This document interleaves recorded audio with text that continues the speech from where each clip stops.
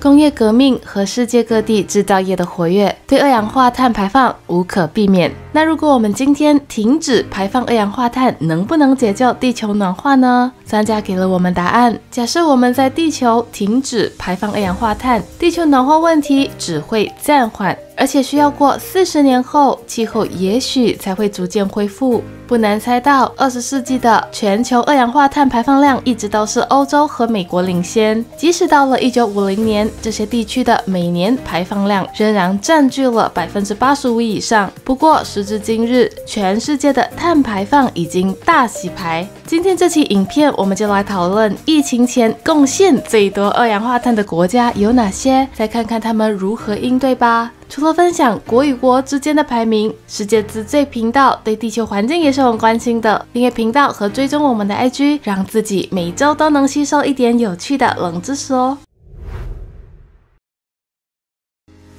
第五，日本，二零一九年一共产出十二亿公吨二氧化碳。虽然目前日本拥有很多核能发电站，但是他们依然严重依赖燃烧天然气和煤炭为其人口和各个行业发电。我们都知道，日本的制造业引领全球，需要的发电量自然非常巨大。尤其是自福岛核灾难事件核反应堆于二零一一年关闭后，核能被化石燃料取代，成为全国发电量最大的来源。这一措施进一步加剧了二氧化碳的排放量。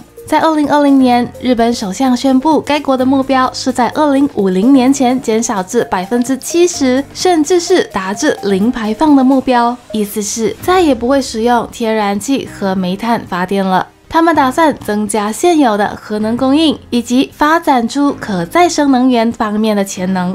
其实，相比起二零一三年时接近十四亿公吨的二氧化碳排放量，确实看得出日本真的一步步实行减碳的目标。虽然每年平均仅减少零点四公吨的排放量。除了工业以外，日本也鼓励家家户户控制温室气体的排放。例如，家里的空调和照明等电器设备都拥有节能功能。而且，根据调查，日本人民也自动自发地实践节能，减少碳排放，一起响应全民减碳。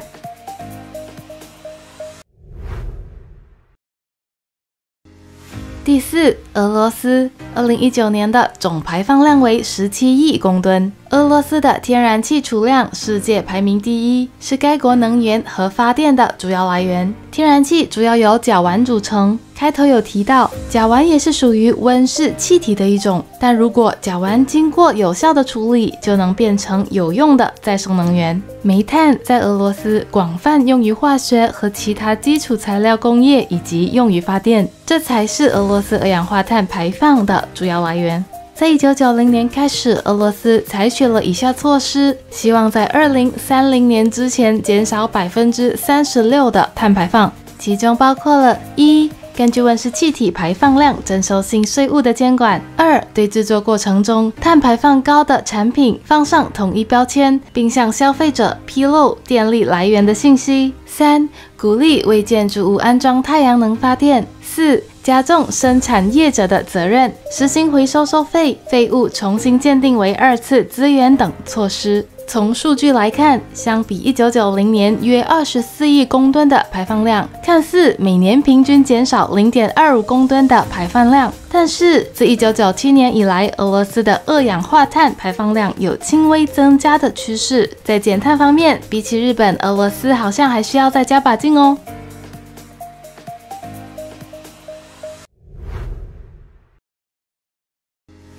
第三，印度。二零一九年产生了约二十六亿公吨的二氧化碳，相比前两个国家，印度的二氧化碳排放量可说是高速上升中。但若按人均来计算的话，印度的二氧化碳排放量就显得非常低，人均仅有约一点八公吨二氧化碳，远低于世界平均水平的四点二公吨。目前，印度人口已经逼近十四亿。近年来的增速更是非常惊人。该国的经济发展相对初期，随着印度经济走上城市化和工业化的道路，迫切需要价钱更为便宜的煤炭作为印度的电力来源，而且每年的需求量也在急剧上升中。听到这里。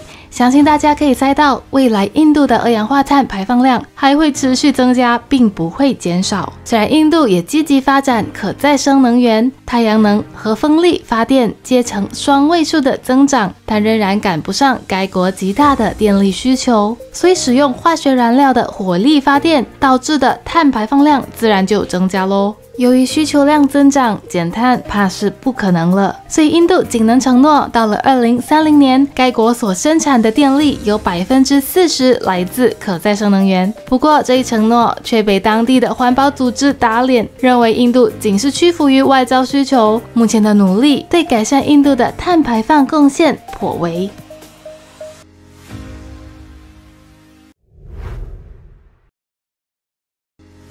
第二，美国二氧化碳排放量约为五十三亿公吨。二零二零年，美国最大的二氧化碳排放来源来自交通运输、工业和发电。美国经济严重依赖其运输行业，卡车、轮船、列车和飞机等。加上美国是全世界用车率第二高的国家，通过汽油和柴油都会增加二氧化碳的排放量。除此之外，该国的工业也贡献不少二氧化碳。除了依赖大量的化石燃料作为能源，一些化学相关工业使用各种化学反应来生产原材料，也在过程中排放大量的二氧化碳。看到这里，你应该也意识到，生活水平高低并不影响温室气体排放量。例如，欧洲许多国家的生活水平跟美国差不多，但他们的排放量却远低于美国、加拿大或澳大利亚。这或许跟国家依赖的行业发展方式有着重大的关系。近年来，美国电力公司面临着越来越大的减碳压力。因为各州有零排放承诺和立法行动，尤其是在拜登上位之后。不过，从报告得知，美国前一百家电力公司有八十五家是零碳资源发电，占全国零碳资源发电总量的百分之八十三，其中包括核电、水电和可再生能源等。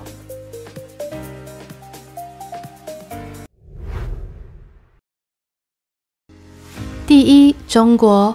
但是，二零一九年的二氧化碳排放量就已经超过了一百亿公吨。自进入二十一世纪后，中美两国一直位列二氧化碳排放总量的前两名。即使受到疫情的影响，但二零二零年中国的二氧化碳排放总量还是比二零一九年增长了一点五帕。中国的二氧化碳排放主要来源是化石燃料，尤其是燃煤。而目前，中国能源总量中约有百分之五十八皆来自煤炭。作为世界上最大的煤炭消费国，自然也释放一定数量的二氧化碳。中国有计划通过生产更多再生电力来减少对煤炭的依赖，并在未来减少大城市的总体污染，例如使用核能、水力和风力发电。该国预测在二零三零年前达到二氧化碳排放量的峰值，并在二零六零年前实现碳中和。但至今，中国尚未给出二零六零年碳中和的指标。从如何落实到各省市如何减少环境污染、企业该怎么做的等等的问题，都还是未知数。不过，从现在开始，至少到二零三零年前，中国在二氧化碳排放量的榜首的位置将会是不可动摇的吧。